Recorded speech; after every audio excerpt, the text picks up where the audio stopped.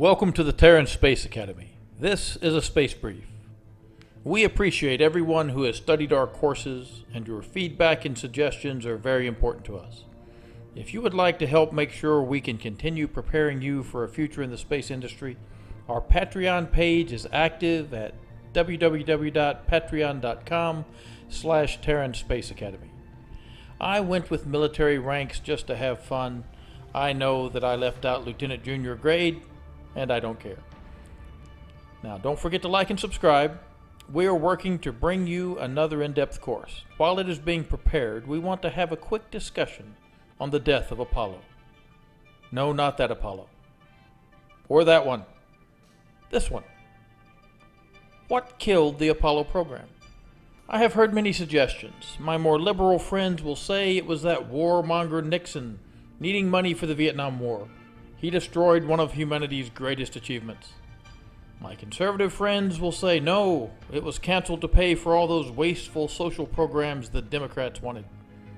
As an independent, I often find myself trying to find a middle ground. These days, if you say you don't want children to die from preventable illness, one side screams communist. Then, if you would rather not be arrested for hurting someone's feelings, the other side screams fascist. I always think that if these people could spend a few days in Germany in the 1930s, or perhaps Russia in the 1950s, they would not be so quick to throw those words around. But that aside, what did kill Apollo? Why did the country that turned national power into an art form destroy a launch system capable of getting 125 tons into orbit? Why?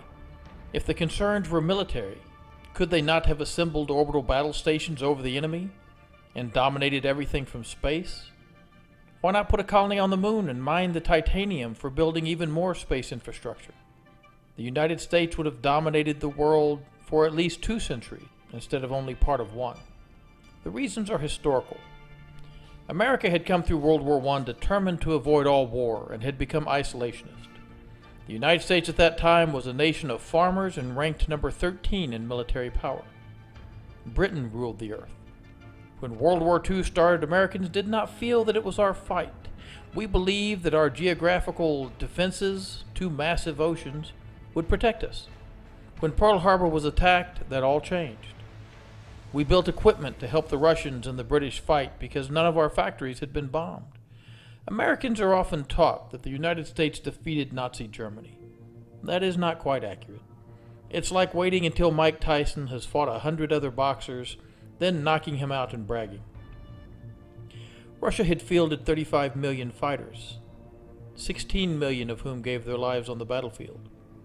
Most of the European countries had exhausted their militaries and been defeated, except Britain. Britain also had the English Channel to keep tanks from coming over easily, and with constant resupply from the United States was able to hold out.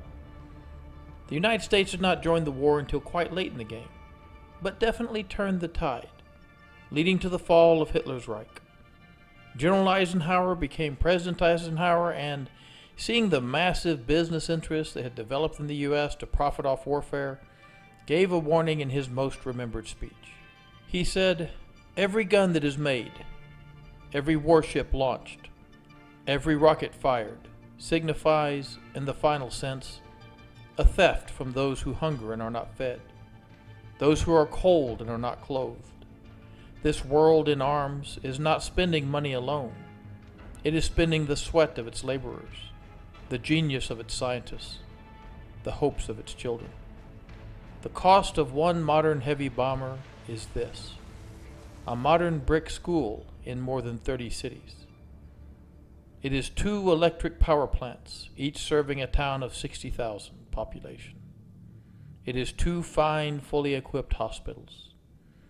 It is some 50 miles of concrete pavement. We pay for a single fighter with a half million bushels of wheat. We pay for a single destroyer with new homes that could have housed more than 8,000 people.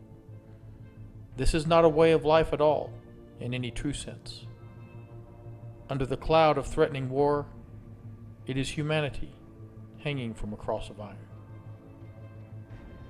In usual American fashion, we completely ignored him. Winston Churchill once said, You can always trust the Americans to do the right thing once they've exhausted all other possibilities.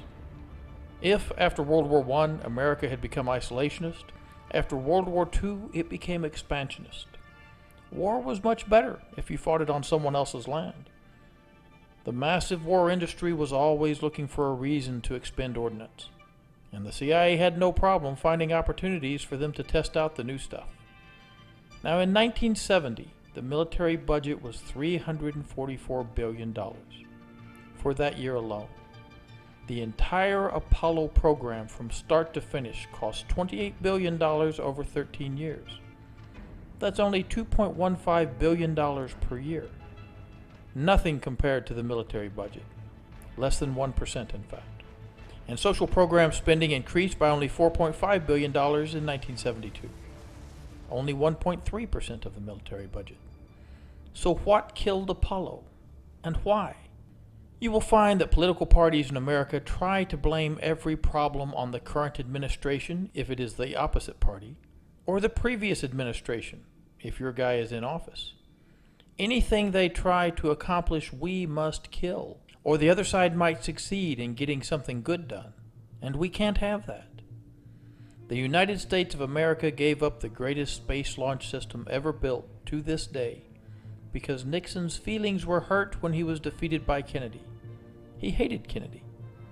Now, Kennedy had died in office, and the American people would not have tolerated the cancellation of Apollo before beating the Soviets to the moon. But once we had, everything could be blamed on Apollo. Losing the war?